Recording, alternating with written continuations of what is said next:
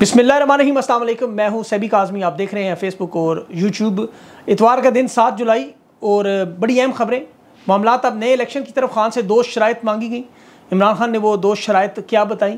میں آپ تفصیل سے بتاتا ہوں۔ عدلیہ ایک طرف ججز پر حملے ہیں، دوسری طرف ججز کی اہم بیٹھک۔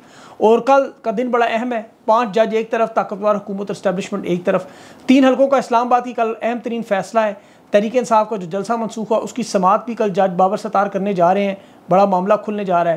سویلین سیٹ متعلق ٹرائل انٹرا کورٹ اپیل کی سماعت بھی کل ہے۔ منگل کو مخصوص نشستوں کے معاملے کی سماعت ہے۔ وہ بھی فل کورٹ ہے۔ اسے بھی روکنے کی کوشش کی جا رہی ہے۔ خان کی بھوک ہڑتال کا معاملہ۔ اب اس وقت بڑی اہم انٹرسٹنگ معلومات جو تحریک انصاف کے رہنما، کارکنان، قیدی اور اوورسیز پاکستانی کیا منصوبہ بنا رہے ہیں، جو جلسہ کینسل ہوا ابھی۔ جس کا نوٹیفکیشن جعلی اور عدالتی کاروائی، وہ معاملہ، لیکن اصل اس کے پیچھے کوئی اور بھی بات نکل آئی۔ اور ایک ویڈیو جو سوشل میڈیا پر وائرل ہوئی آپریشن سے متعلق، اس پہ بات کریں گے۔ اینٹی اسٹیبلشمنٹ بیانیہ جو پاکستان سے شروع دنیا بھر میں پھیل گیا۔ نون لیگ میں اکھاڑ پچھاڑ رہنماؤں کو ہٹانے کی باتیں ہو رہی ہیں۔ سنم جاوید سے دوبارہ معافی کا مطالبہ، رہائی کی پیشکش۔ اور چاروں ہائی کورٹس میں ایکس ٹویٹر کی بندش پر خاموشی کیوں ہے؟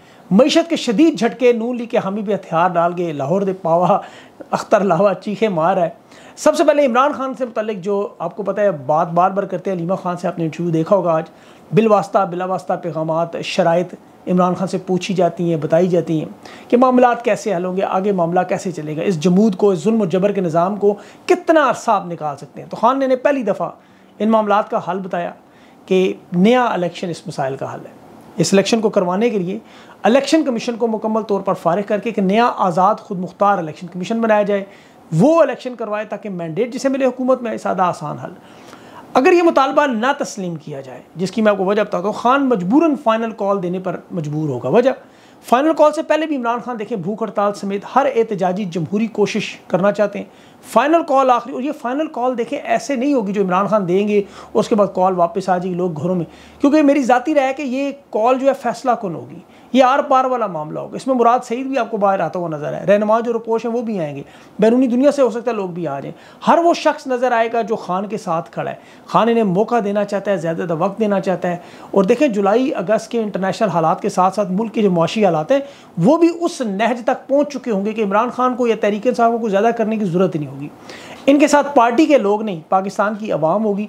اب تک جو چھوٹے موٹے احتجاج آپ دیکھیں نا، اس میں جتنے بھی تو ڈائی ہارڈ ورکرز آتے تھے، وہ کرتے تھے۔ عمران خان نے جو فائنل کال دی، اس میں پاکستان کی عوام نے نکل آنا ہے اور یہ اپنے پیٹ پہ لات کی وجہ سے نکلیں گے۔ یاد رکھیں، یہ انتظار کر رہے ہیں۔ یہ پندرہ بیس دن ہے، مہینہ پڑا ہے، ڈیڑھ مہینہ پڑا ہے، یہ لات پڑنی تو ضرور ہے۔ اس کی میں آپ کو بڑی اہم وجہ دلیل کے ساتھ دوں جو معاشی حالات ہیں۔ حکومت اندرونی سطح پر قرضوں میں مکمل طور پر تباہ و برباد۔ بیرونی سطح پر تو حالات جو ہیں ہی ہیں وہ آپ کے سامنے۔ اس وقت روزانہ کی بنیاد پر ساٹھ ارب روپیہ قرضہ لیا جائے، ساٹھ ارب روپیہ۔ معاف کیجیے گا۔ ابھی ساٹھ ارب روپے سے جی بالکل ساٹھ۔ ارب ڈپٹی کمشنر کے دفاتر، وزیر اعلیٰ کے دفاتر یا زرداری کے لیے تیس کروڑ کی گاڑیاں، حمزہ شہباز کے لیے دو ارب کا بجٹ، یہ ہیلی کاپٹر سرکاری رہائش گاہوں کو دفاتر میں بدلنا، یہ سارے اخراجات جو آپ کو نظر نہیں، اونٹ کے منہ میں زیرہ ہے۔ اصل پیسہ منی لانڈرنگ کے ذریعے ملک سے باہر نکالیں۔ جیسے دبئی میں پراپرٹیاں خریدی جا رہی ہیں، دبئی لیکس آئیں۔ ابھی تو یہ ایک لیک تھی جو یورپ، امریکہ اور باقی بریاضموں سے لیک آئیں گی، اپنی آنکھیں کھل جائیں گی۔ کیونکہ وقت ان کے پاس مختصر ہے اور ان کی کوشش ہے لوٹ سکیں، جو لوٹ لیں اور نکل جائیں۔ خان کی حکومت گرائے جانے کے بعد اب تک پی ڈی ایم ون نگران حکومتیں اور یہ جو چار مہینے کی ان ساروں کو آپ اکٹھا کریں تو عمران خان کی حکومت کے ساڑھے تین سال کے دور اقتدار سے تقریباً تین گنا زیادہ قرضہ ہو چکا ہے۔ کمرشل بینکوں سے جو بائیس فیصد پر قرضہ لیا جا رہا ہے، صرف گیارہ مہینوں میں ترہتر کھرب۔ یہ ارب نہیں ہے، یہ کھرب ہے۔ اور یہ ٹریلینز یعنی یہ گیارہ مہینوں کی بات ہے۔ آخری مہینہ جو جون کا گزرا، اس میں انہوں نے تباہی پھیر دی، اٹھارہ سو ارب قرضہ۔ مطلب خان کی حکومت گراتے ہی انہوں نے اکہتر کھرب کا قرضہ بڑھا دیا۔ اب اگلے سال بھی اس میں ستاسی سے ستانوے، سوری، ستانوے کھرب اگلے سال بھی بڑھ جانا ہے، کیونکہ اس میں بیرونی قرضہ بھی میں شامل کر رہا ہوں۔ اب اس وقت جو نجی شعبے کو مارکیٹ سے اب مکمل نکال کے لوگوں نے سرکاری کاغذات میں سرمایہ کاری کر رہے ہیں تاکہ جلدی جلدی پیسہ بینک کما لیں۔ بینک اپنی لگا رہے ہیں مجھے ہنرمند جو ہے برین برین الگ ہو رہا ہے، حکومت بلکہ ان پر بھی ٹیکسز لگا کے ان کے کپڑے اتروا رہی ہے۔ اب اس وقت عوام شاید یہ جانتی نہیں کہ واقعی عوام کی ہڈیوں سے گودا نکال کے یہ کہاں خرچ ہو رہا ہے۔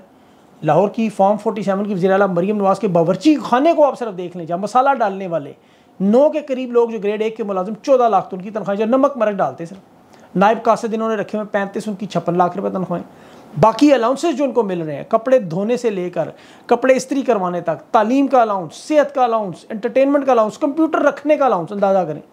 تو اگر آپ سینئر ہوتے پہ تو الاؤنس اور زیادہ بڑھ جائے گا۔ اور پھر سیکیورٹی ان کی جو وہ الگ ہے، اخراجات الگ ہے۔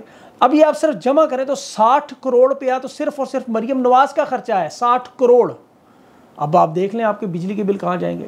اب تو نون لی کے حامی جو لاہور کا لاوا اختر پاوا بیچارہ جس نے کل فریادیں کہا رہا تھا کہ بیتالیس ہزار کا بل ڈیڑھ مرلے کے گھر پر۔ یہ پورے پاکستان کی حالت ہے۔ سولہ سولہ اٹھارہ اٹھارہ گھنٹے بجلی کی لوڈ شیڈنگ اور بل چالیس سے پچاس پچاس ہزار، جن کی اتنی آمدنی نہیں۔ تو اس صورت حال میں ملک آگے مزید، اور یہ تو بھی سٹارٹ ہے۔ ابھی تو پارٹی شروع ہوئی ہے۔ خان نے اسی لیے نے شرائط بتائیں اور مسئلے کا حل بھی ہے۔ دو شرائط بڑی سادہ سی۔ ایک آپ نیا الیکشن کروائیں الیکشن کمیشن کو ہٹا کے اور معاملہ ٹھیک ہے، لیکن ظاہر ہے اخراجات کے معاملے سے مشکل نظر آتا ہے۔ تو نیا الیکشن کروانا ان سے مشکل ہے میٹرم سے پہلے۔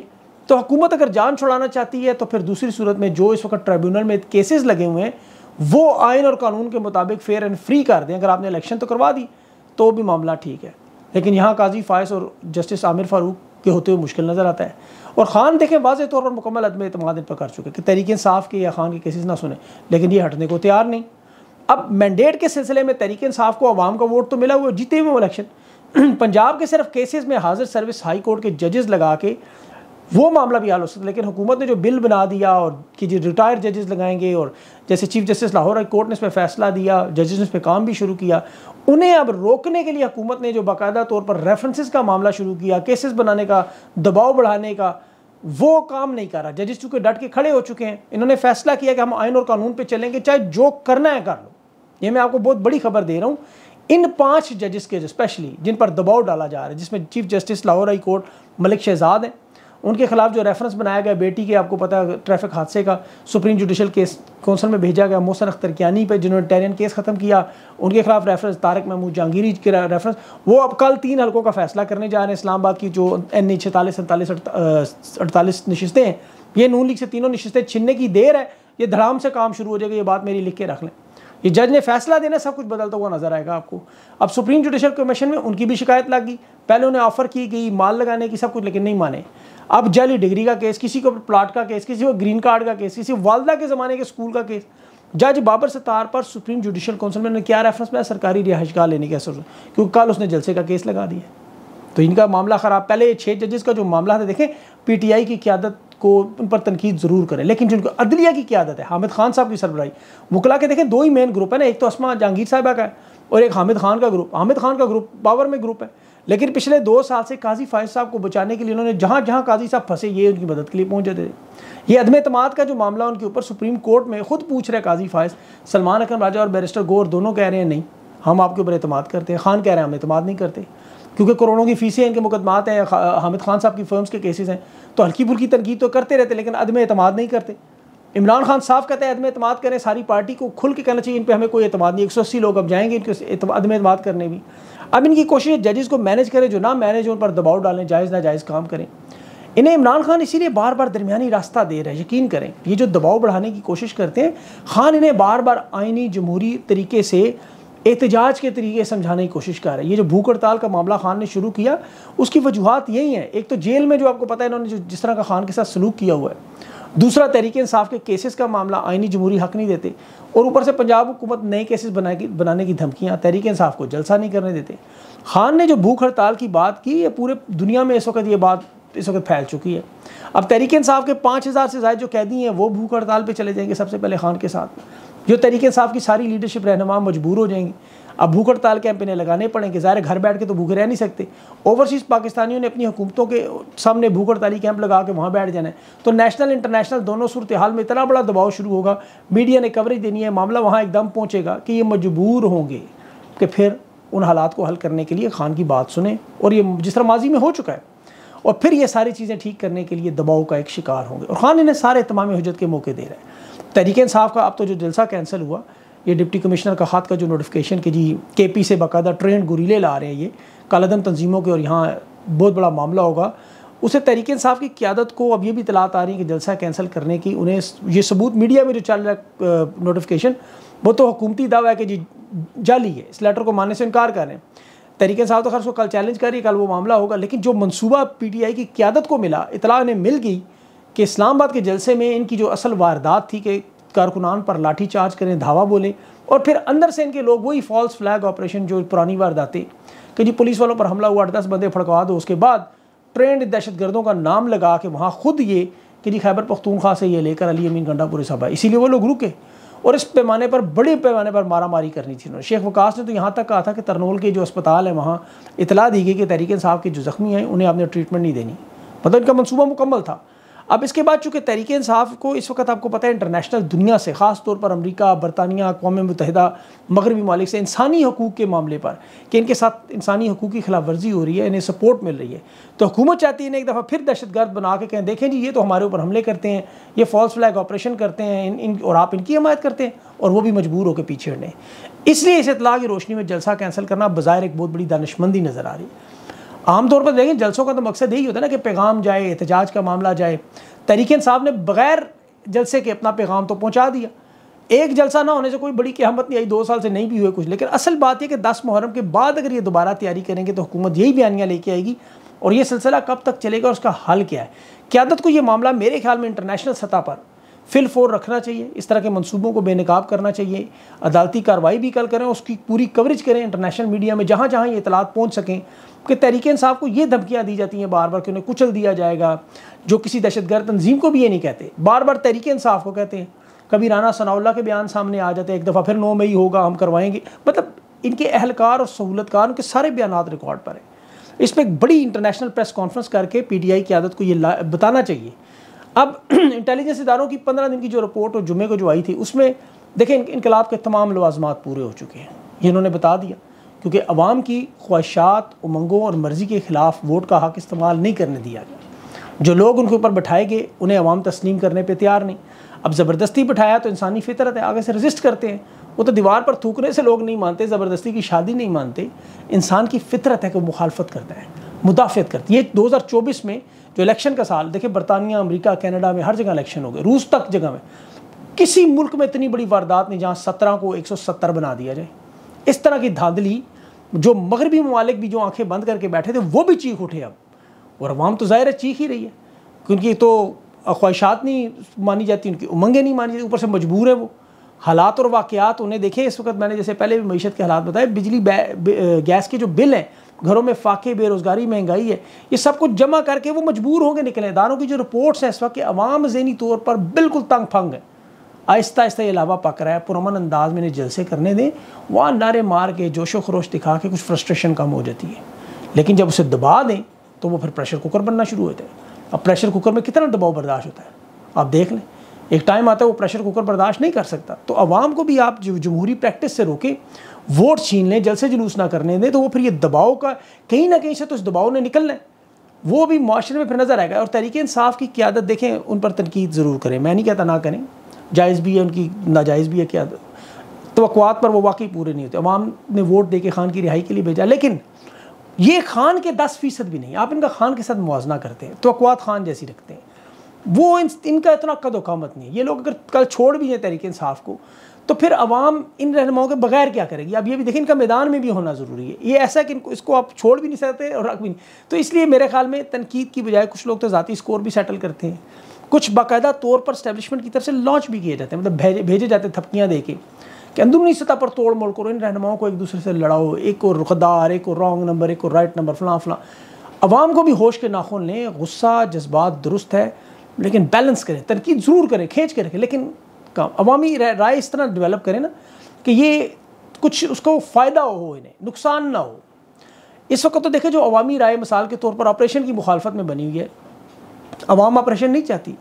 دہشت گردی کے خلاف امریکہ کا ایک آپ کو پتہ جنگ تیئیس سال ہو گئے دو ہزار ایک میں شروع ہوا تھا معاملہ، امریکہ پہ حملہ ہوا، ہم اتحادی بنے۔ امریکہ نے اپنے بھی خربوں ڈالر لگائے، بالآخر افغانستان سے نکل گیا۔ سمجھ گیا کہ جنگیں ان مسائل کا حل نہیں۔ مذاکرات میں بیٹھے۔ ہمیں اس آگ میں جھونکے خود غائب۔ اب یہ جو آگ اور بربادی کا کھیل ہے، تیئیس سال سے یہ ٹوٹل کو پچیس تیس ہزار دہشت گردوں کے مقابلے میں اٹھارہ آپریشن ہو گئے مختلف معاملات میں۔ ابھی تک یہ معاملہ حل ہی نہیں ہو رہا۔ تو ضرور کہیں نہ کہیں کوتاہی تو ہے۔ اب اپنے لوگوں پہ الزام لگانا کہ یہ دہشت گردوں کی مدد، یہ بہت بڑی زیادتی ہے۔ اب کل ایک بہت بڑی اہم تقریر جو سوشل میڈیا پہ وائرل، جس میں باقاعدہ طور پر کہا جا رہا ہے کہ کسی نے اگر مداخلت کرنے کی کوشش کی، روکنے کی آپریشن کوشش کی، تو اس کا بھی انجام وہی ہوگا جو ان کا ہو۔ اب خیبر پختونخوا کی عوام پچھلے تیئیس سال سے کولیٹرل ڈیمیج بنی ہوئی ہے۔ آپ ان کے گھر دیکھیں کے پی میں شاید ہی کوئی ایسا گھر ہو ان آپریشنس کے دوران کہ جو گولیاں اور بارود کی نشانیاں موجود نہیں۔ ان اٹھارہ انیس یا چھوٹے بڑے جتنے بھی آپریشن ٹوٹل کر لیے تین چار سال میں۔ ان کا کیا فائدہ ہوا؟ اب یہ دیکھیں، ہندوستان میں دیکھیں ایک سو بائیس علیحدگی پسند تنظیمیں کام کرتی ہیں۔ وہاں کیوں نہیں آپریشن اس طرح کے ہوتے؟ ہیں انہوں نے انیس سو چوراسی میں ایک آپریشن کیا تھا۔ اس کے بعد دیکھیں کیا سبق سی بلو سٹار سے۔ اب سری لنکا میں وہاں بھی تمل کے خلاف انہوں نے کیا، تینتیس سال کی جنگ، معاملہ ٹھیک کر لیا۔ یہاں چوبیس سال ہو گئے ہیں کیا ہمیں اگلے نو سال مزید انتظار کرنا پڑے گا۔ وہ امریکہ جیسا ملک، اپنے ملک میں اتنا بڑا حملہ کرنے کے بعد اپنے حالات ٹھیک کر گیا۔ جہاں جہاں ہندوستان کی آپ دیکھ، یاد کریں پارلیمنٹ میں حملہ دوبارہ نہیں ہونے، یہاں گھر کے اندر گھس کے وہ بیس بائیس بندے مار کے وہاں آپریشن کوئی نہیں ہوا۔ لیکن ادھر یا اب یہ ملازمت مدت توسیع سے جڑی ہوئی چیزیں ہیں ساری۔ یا تو دیکھیں، کھل کے بیان دینا کہ کوئی ملازمت مدت توسیع نہیں ہوگا۔ صوبائی حکومتوں کو، سیاسی جماعتوں کو، علاقے کے جو عمائدین ہیں جرگا کرنے والے ہیں، ان کو بٹھا کے ڈسکس کر کے ٹارگٹ کے حساب سے جو ملک دشمن لوگ ہیں، چلیں کریں سیکورٹی ادارے۔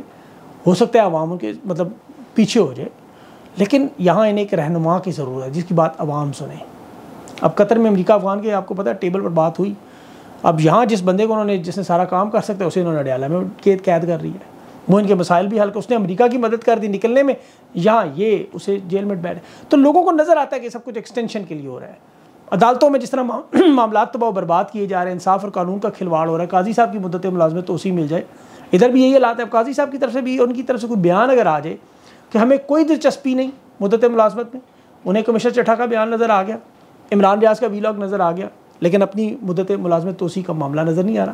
تو پھر یہ پاکستان کی جو تباہی اور بربادی کی بنیاد ایکسٹینشنز کی بنیاد پہ رکھی جاتی ہے، جیسے جنرل باجوہ نے کیا، جسے خان نے یہاں تک کہا تھا، ملک کی معیشت تباہ نہ کرو۔ تم نے ساری زندگی رہنا ہے، تو رہ لو، ہمیں اس سے کوئی غور لیکن ملک کو تباہ نہ کرو۔ لیکن اس نے نہیں مانا۔ یہاں بھی عوائن و قانون تباہ، عدالتیں تباہ، انصاف تباہ۔ تو ان حالات میں آگے کنواں پیچھے کھائی، تو پھر جو ان کی اپنی رپورٹ ہے، انقلاب کی طرف، پھر خدا نہ خواستہ معاملہ ادھر ہی جائے گا۔ اس وقت سے بچنا چاہیے اور اللہ سے ڈرنا چاہیے۔ اللہ ان کو ہدایت دے، دعا کیا کرے۔ ان کے لیے بھی۔ اللہ ان کے دل و دماغ کو بدلے۔ انہیں عقل اور سوچ دے۔ جو گراؤنڈ میں جو ہو رہا ہے وہ انہیں نظر آئے۔ اپنا خیال رکھیں۔ مجھے اجازت دیں اللہ حافظ۔